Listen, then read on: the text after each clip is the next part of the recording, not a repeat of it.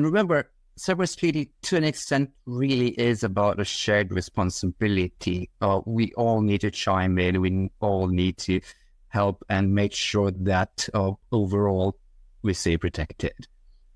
So, with that in mind, uh, let's uh, talk about what we consider are some of the most important uh, best practices that you can spread the good word about.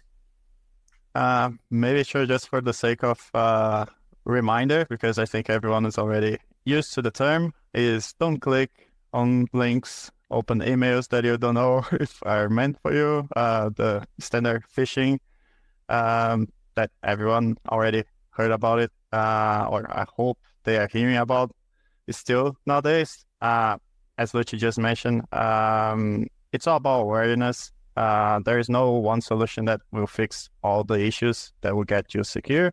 We'll talk about different topics here, but the most important thing uh, from today's podcast is about you becoming more aware, helping others, helping spread the different solutions, the different uh, techniques that we'll talk uh, here.